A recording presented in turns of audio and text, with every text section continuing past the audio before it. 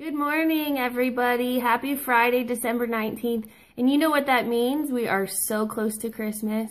Five days and counting till we get to celebrate and be around all our friends and family. What's even better about that is how busy this time of year is. I know we've heard a lot of people say lately, it's so busy, I haven't had time for my Advocare business. Well, guess what? The busier you are, the better. This is a people business, belly button to belly button, face to face business.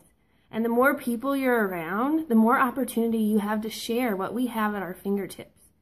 And even better right now with this all in nationwide challenge that we've been given, this is a huge gift, everyone.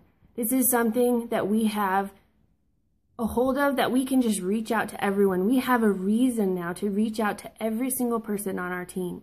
Every single person that we're around, we have something to share, to let them know the excitement and what's going on and how huge this is.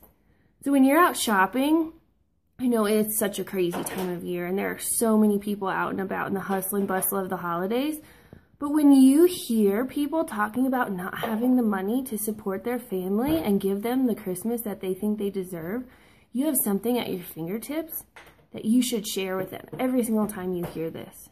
Take advantage of all the people and how busy it is right now and share a way with this nationwide challenge and the opportunity that we have been given with the business opportunity of Advocare.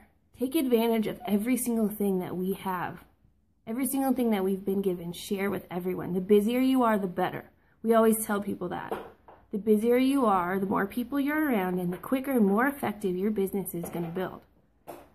So I hope everybody takes the time today to share with at least five new people share the All In Nationwide Challenge, and share this opportunity.